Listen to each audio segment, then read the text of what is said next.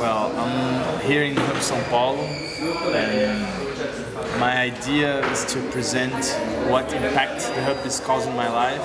Right now I am participating as a host and as a, a listener of Hub uh, Winter School and it's been very nice for gaining knowledge from all people from all kinds of all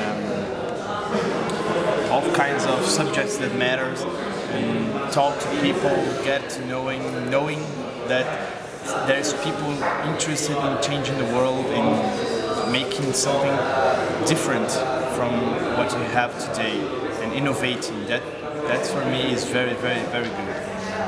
I'm happy to be here also. Your name? My name is Augusto and this is Hub São Paulo.